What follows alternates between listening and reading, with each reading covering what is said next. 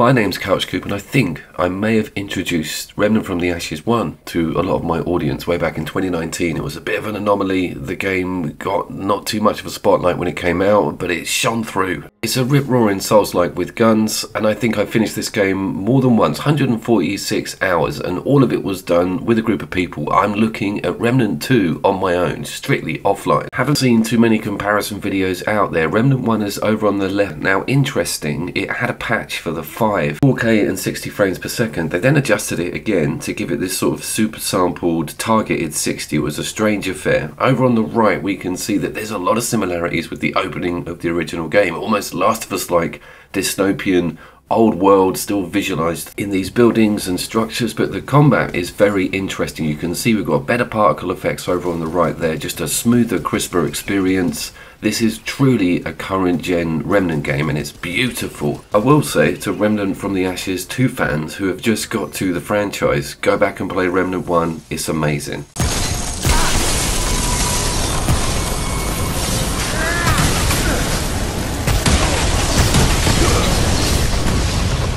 I've also had the fortune of installing the game without any patches, going in before 1.06 and there wasn't any graphic adjustments in the options. Now we have quality, balance and performance. Quite self-explanatory. I went for balance. Apparently it keeps it 60 and pushes that resolution up. It looks a lot better than that 30 frames per second on quality and performance we need more resolution. Very similar opening to the subway in the original game, and you get given some NPC sort of colleagues to muck around with, but then it's very much you're out on your own.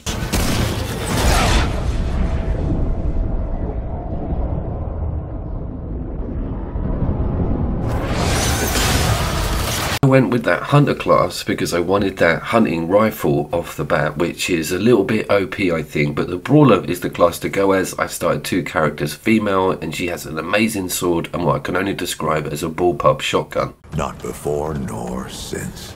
Yet, for all our manpower, Tutorials and introductions are so much more informative, it's taking you straight to Old Man Ford, you're shown around the board and you get given literally your first world to go to. Now I thought they switched out, but they don't. You have switch out on bosses and then you incrementally discover the new worlds or biome. Great to see the rework on the Remnant Stone itself and all these different particles and lighting effects gives this game such a buzz and beautiful look.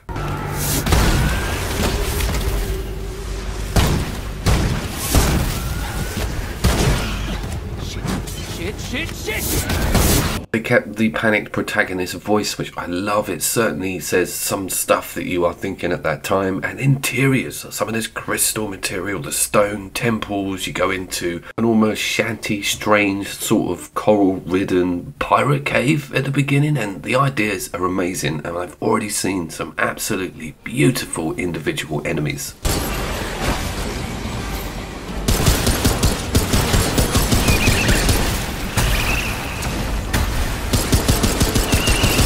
That is kind of the selling point for me with Gunfire Games and this particular IP. Brilliantly done enemies and bosses and boss fights, and that sort of whole Souls like thing in the background, but you've got guns and amazing mods and bolt ons to muck around with. My first boss was Legion, and if you don't know, it's a trapped arena with multiple ads, and you've got this damn thing at the front, and it sends out a wave that if you do not time, is half energy gone. I nearly lost my mind.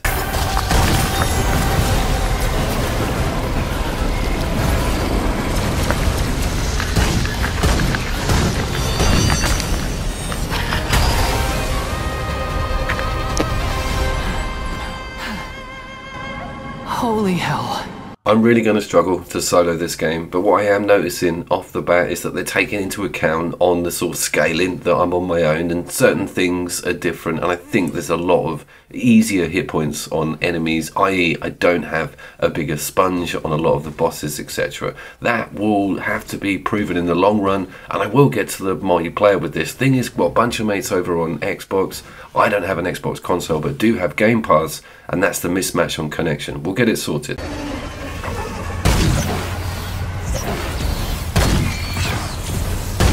I am trying to sort of shoot round those alien deers, but they will charge you and knock at least quarter of your health off. So you run out of sympathy when you're struggling at the end of a level and you get headbutted by friggin' extraterrestrial antelope. I also love the idea of them keeping in some of the QTE events, so you do have to do a bit of button mashing to get out of a grab. The flyers on this second section, absolutely amazing, popping out of the undergrowth. I want to see more corridors and less open spaces. I know that sounds strange, but Rem 1 really came into its own when very tight, often claustrophobic spaces.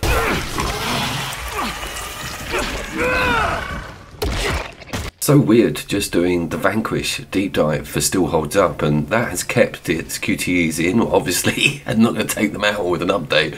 But it was strange to see them existing in this game. They're a little bit archaic here and there, same as Shadow of Mordor, they're bloody everywhere. Again, soloing this guy was not easy. Shrewd managed to get me right down to the wire. Look at my health, the millimeter there, and it was like the last shot of the last clip. Everything was off the wall for that particular fight. But the tension's amazing. It was about 10 to 15 attempts as well. It does have a very snappy auto aim on by default. So when you go for that L2, you will sort of slide over to the nearest enemy. This can be a bit of a nightmare because a lot of the wildlife is actually shootable and sometimes your auto aim will go to that as opposed to a key enemy that you want to kill. Once you've settled in with it all though, the whippiness of those frame rates and just being able to look down your sights and pop off a few very quick shots in either direction at high speed makes you feel really powerful and dodging and getting used to how everything's coming at you and the speeds which have changed a little bit from the original. So is jumping gaps apparently that put me back so far. So watch out for that. There's like a Pandorum style level where you can jump little bridges and go to different islands, but not all of the gaps are traversable. the only way to find out is to throw yourself into the abyss. Check this out. This is the point in the game where I'm like, I may have bitten off more than I can chew with this particular boss setup.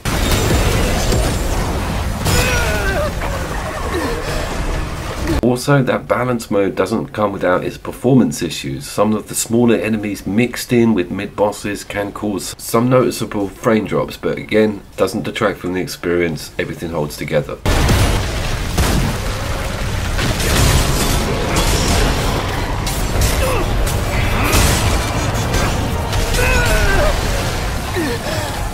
I'm willing to bet not a single YouTuber has noticed that bird up there nestling in that broken tree, or nesting rather. That's a bit Dark Souls, isn't it? It doesn't come down and attack you. It's not a mini boss as far as I know within the level, but that's definitely worth the sub. We're eight and a half minutes in. There's only 2.3% of you left, which is me watching the video for quality and probably Sean.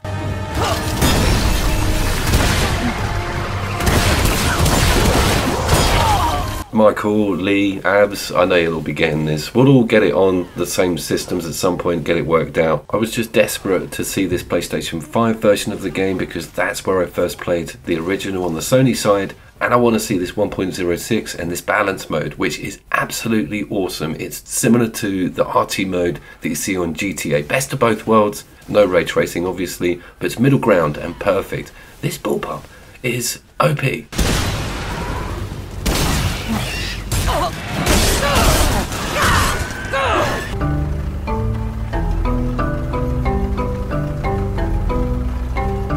There is a secret electric sidearm within that harp challenge. That was the one thing I kind of disliked was having to input that, read the notes in the book. The game was rip roaring up until that kind of brick wall puzzle for me. So far, there's been no major meddling around with switches or spot the difference games. It's pretty down the middle with third person, white knuckle, amazing Souls like gameplay.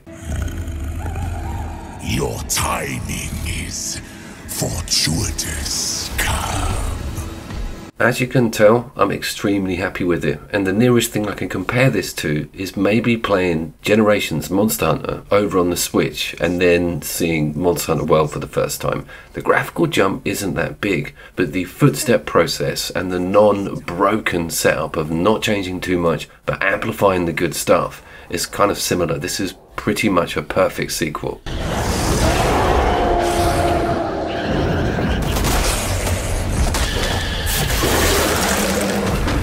Is it worth soloing? Oof, I don't know about that one. You've got to be one sadistic son of a sod to be able to even come up with the idea, but it is doable. For what I've had 15 hours of it, I'm going forward at a decent pace, not getting stuck, and working out bosses kind of from a different angle because you haven't got those three support players helping you out.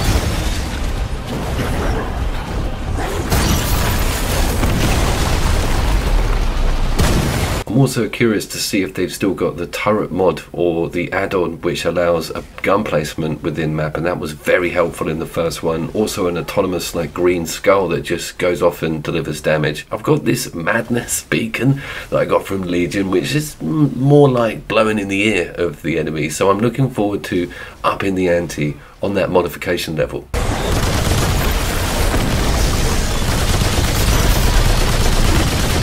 Only time will tell if this makes it through to this year's GOTY. We've got Space Marine coming up, so it's going to be a bit of a toss up between them, I think. Online multiplayer will certainly help this game, and the fact that it will or should have a really good end game with re rolling those worlds and taking it on on hardcore difficulty. All this footage was on Veteran, and there's two more difficulty slots up from that. I will put a playlist to my offline single player content games within the description of the video and in the comments, and of course, I'll see you down there. Ugh.